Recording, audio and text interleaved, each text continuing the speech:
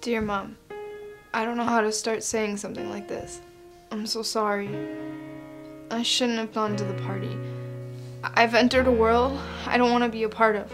I'm in hell, Mom. A nightmare, and I need you to help me. I'm so afraid it's too late. Everything spiraled out of control. I want to be your little girl again. I love you, Mom. I don't know where to turn. Love Dear you. baby girl, I wish I could have helped you. You would have never done anything ever for me to hate you. I just wish I could hold you in my arms and tell you it's all going to be okay, that we can just go back to the way it was.